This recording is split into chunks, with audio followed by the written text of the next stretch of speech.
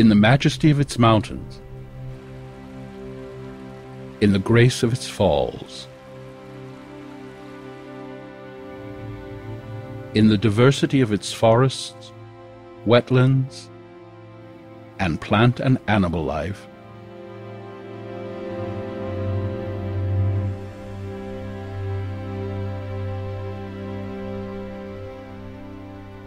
The northern Catskill region of upstate New York is one of the great natural wonders of the world. You can read an ancient glacial story imprinted into its Devonian stone.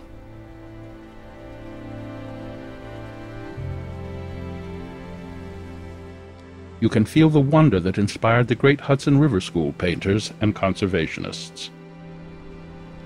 Not just in the grand panoramas, but in the dappled details of a sunlit stand of ferns, the bark of a tree, or the bud of a flower.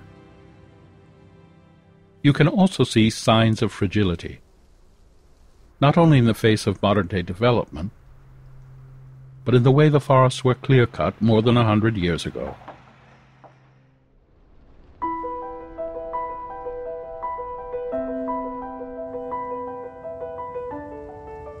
The Mountaintop Arboretum was founded in 1977 by Dr. Peter Ahrens and his wife Bonnie as a scientific station to study trees that could withstand the rigorous climate of the 2,400 foot elevation.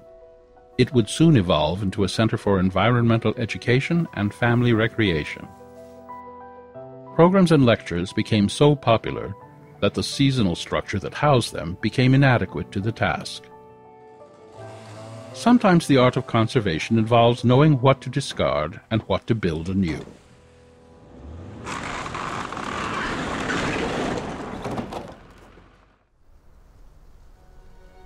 A new education center and maintenance barn needed to blend seamlessly with the natural surroundings and at the same time meet the challenges of an expanding audience, especially outside the summer season. But how? Timber frame architect Jack Sobon came up with the answer. The building would be made of trees from the surrounding woods and stone from the basement excavation, and it would be handcrafted by the skill of local artisans. In short, the building would be made of everything the Mountaintop Arboretum honors. This building will be an introduction to the Arboretum. I like the idea of a magical building, something that has sort of a storybook character to it. There's plenty of boring architecture out there that does not inspire people. So what we envision here is something that is an interesting, fascinating building on its own. It's a showpiece for a sustainable building as well.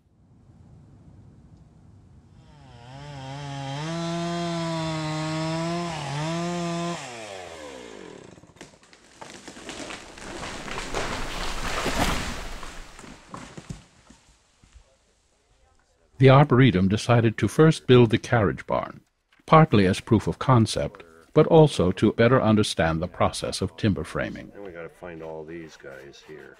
Though timber framing has been around for centuries, there are few craftsmen left who are experts in the field.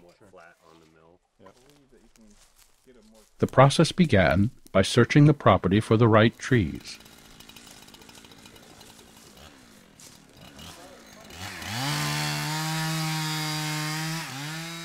In the end, beams, posts, pins, siding, and floors would be crafted from 21 species.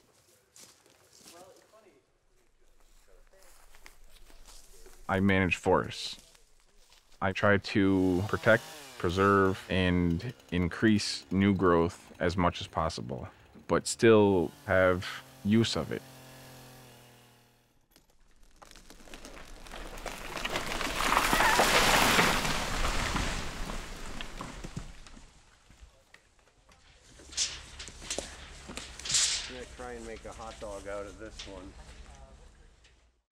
Autumn, the forest floor is at its most fragile state. Removing logs with mechanized equipment can be damaging. An innovative, if slightly retro, solution was found. More horsepower. A team of Belgian draft horses, to be precise. The Arboretum wanted to do low impact. That's why we're pretty much doing things old school. By next spring, other than the stumps and the sticks that are left, you won't even know that we were here doing what we were doing. So we do as little damage to the ground, surrounding trees, plants, everything.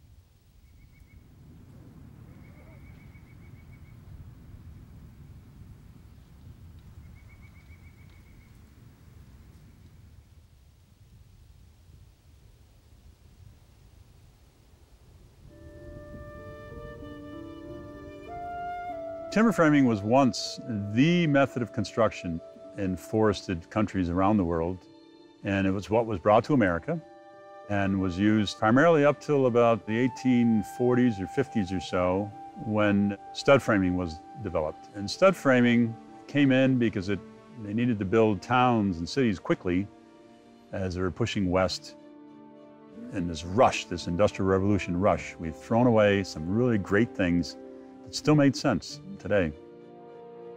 In the late 60s, early 70s, a lot of people saw this. Timber framing was revived. And there's a healthy population of timber framers today building beautiful structures. It's still not mainstream, but it's made a, a big comeback and it's very popular.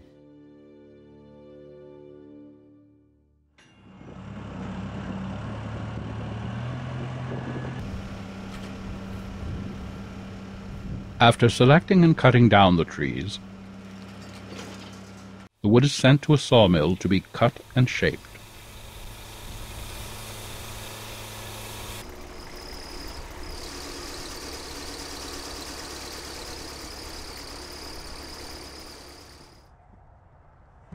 Timber framing is a really organic process.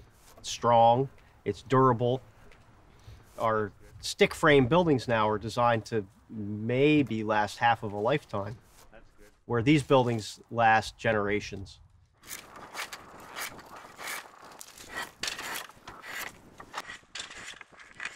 You can look at a timber frame building and understand why that building actually works and stands. They're just pure form of building. They don't lie. There's no secrets. It's all right there. It's not hidden behind layers of plaster or what have you. It's, it's there to see. There's beauty in the simplicity of it.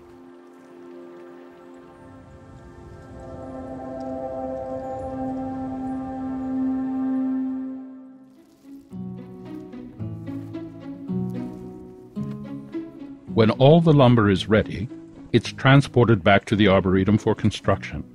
The barn becomes the first test timber frame building. Timber framing is the craft of joining timbers together through mortise and tenons or lapped and dovetail joinery. And it's pegged and held in place with wooden pegs.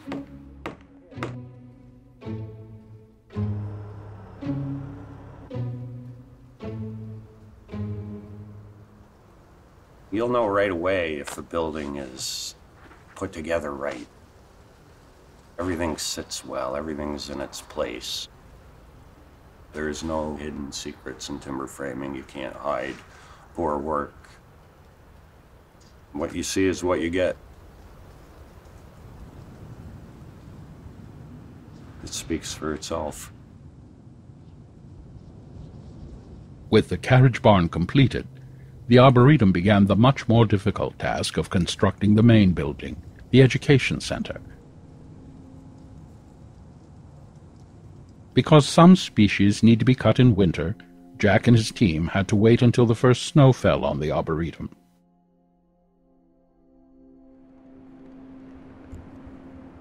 One of the, the goals of the project was to make a building that was eco-friendly and lives lightly on the land and does its part to help the environment.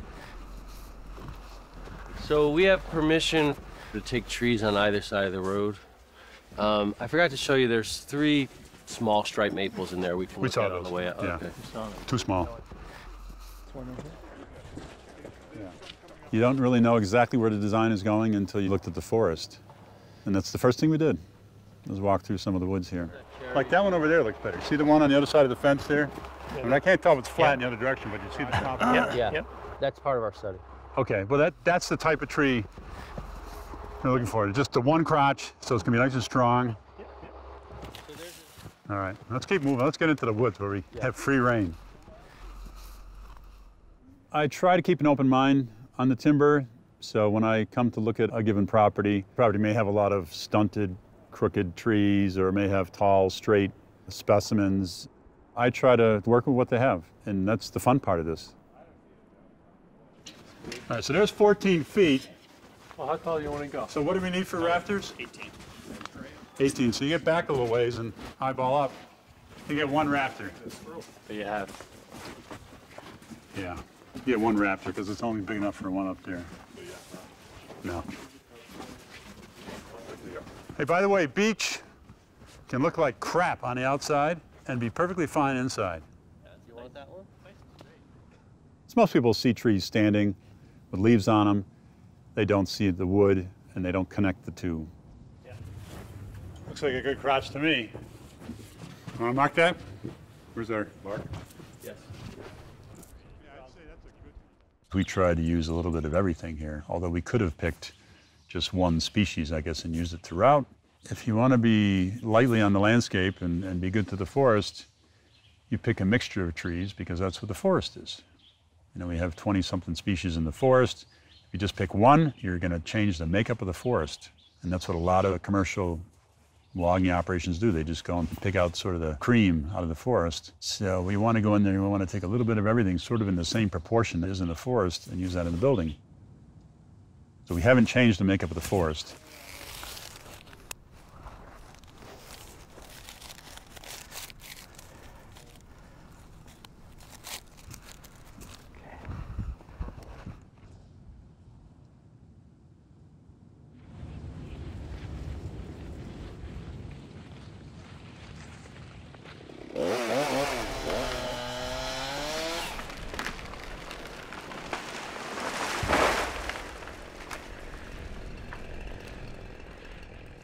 In winter, with a frozen forest floor, tractors could do the clearing cleanly enough.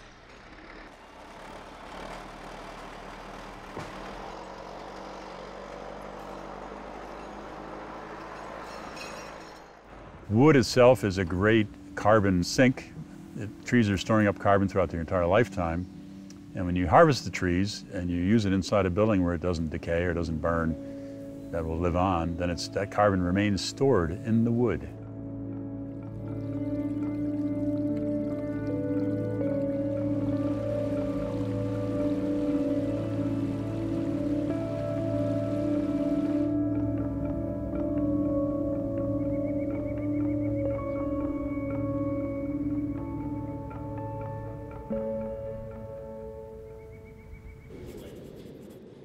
Back at the timber mill, the artisans continue the exacting craft of preparing the wood for the elegantly designed but more complex education center. We hand selected, I believe it's 21 different species from the forest. They were sawn up on a bandsaw mill, on a custom sawmill that can saw extra long timbers. And then the first thing we do is plane everything down. Generally, that's kind of the mundane, boring, tedious part, but it's actually really kind of fun and exciting in, in this frame because they're all different species. And so, you know, kind of everything's a little surprise, you know. Everything works a little bit differently and you get to, you know, get a feel for how everything looks, which adds something special to this project. Traditionally in timber framing, mortise and tenon joints are held together with a wooden pin, like this. It was called a pin traditionally. Nowadays we call these pegs. They're driven through a pinhole in the tenon and the mortise, which pulls the joint together. Now, common sense would say you put the joint together as tight as possible, and then you drill a hole right through. Seems like a no-brainer, right? But that's not the way it was done, and it's not the proper way to do it. Because as soon as the wood dries and shrinks, or as soon as you rack the frame, putting it up a little bit, you get a gap, and then it gets wider as it dries and shrinks until eventually it's unsightly and it's not structurally sound. So they use a technique called draw boring or draw pinning, where the holes are offset from the mortise and the tenon by, in this case, about an eighth of an inch. So when you put the joint together and look down through, the holes aren't quite lined up. The hole on the tenon is a little bit closer to the axis of the piece. So when you drive a tapered pin through those offset holes, it sucks up the joint tight. And it actually puts a bend in this peg, which keeps it tight as the timber dries. So it's just a superior way of doing this. This is a little different from a normal timber frame because it has to be scribed. By scribing, it means each joint is custom mated and is not interchangeable. It's a time-consuming process and involves a lot of leveling and squaring and assembly and disassembly. It can take twice as long as a conventional timber frame. But the beauty of this system is it allows you to use curved pieces, organic shapes, crotches, whatever the timber is, waney pieces, you know, pieces with rounded edges on them. If you didn't scribe these pieces, it would be a very clunky fit. But this allows a very smooth junction between the pieces. They look like they almost grew together.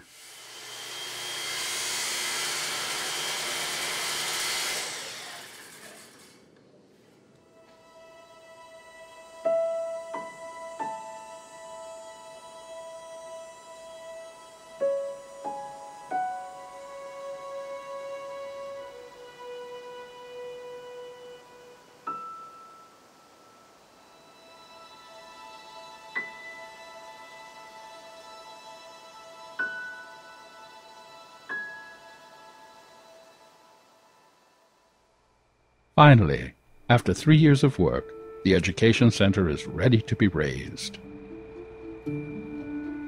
People are, are starving for real things, something that has a little bit of background, some history to it, that uses natural products rather than artificial things. And then when you see animals pulling your logs out of the woods in the snow, and, and you see people raising up a building with their hands, can't put a price on that. It could be the same building when it's finished, perhaps, just looking at it, but the fact that you saw all that went into it makes it much more special in your mind because the people were part of that, the local forest was part of that. It just means so much more when it's done that way. Typically on conventional framing, you do have a little movement in the wood, but the movement on the materials are very minimal. The timber frame is all cut when it's all green. It's not sitting out to dry, so as we're building, the building is always moving. You take a tree, you cut it, it looks square, it looks good, but then you put your level on it and it can be way out, quarter inch, three eighths of an inch. That's a lot in building. You get to a point where you just work with it. You go along with it because you can't control wood that moves and shrinks and twists and cracks. So you got to make it look good. You don't necessarily have to make it level.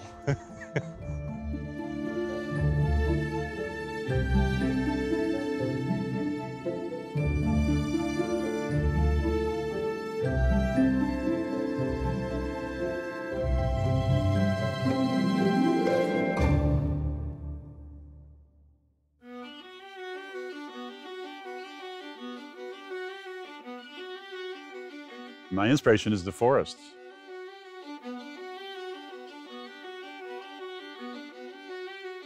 And I try to bring that environment into the building as much as I can. I think we're oftentimes separated from the natural environment in our buildings. So whenever you can make a building that's more natural, which brings in natural light and fresh air from the outside, and uses natural materials that are healthier for us, materials we've, we've been surviving with for thousands of years, stone, timber, earth,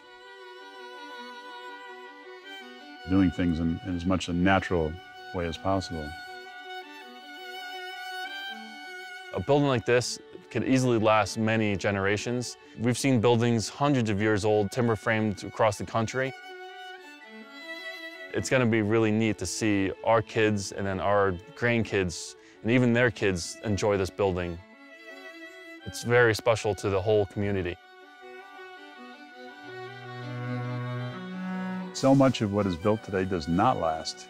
You know, we see that all the time. We see buildings that are put up quickly and cheaply and, and fill some sort of a, a need in the economy.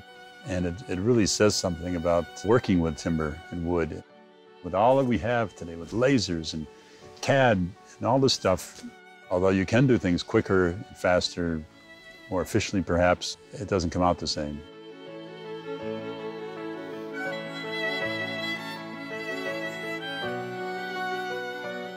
They say that it's hard to improve upon nature, the forms, the curves, the shapes.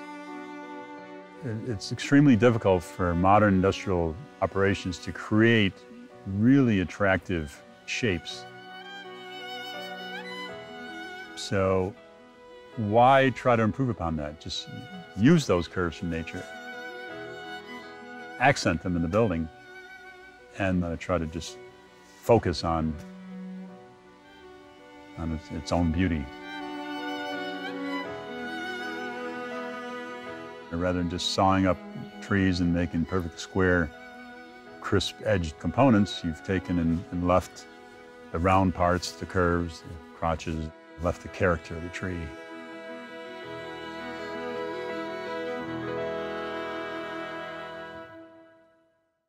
There'll be thousands of visitors going through this building and seeing what organic timber framing is, seeing how we can use our, our native trees and stone.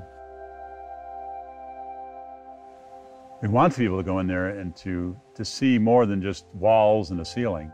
We want them to see what forests can do, what architecture is like, what, what good eco-friendly architecture is like, what warm, honest building systems are like. That's what you're trying to portray in here.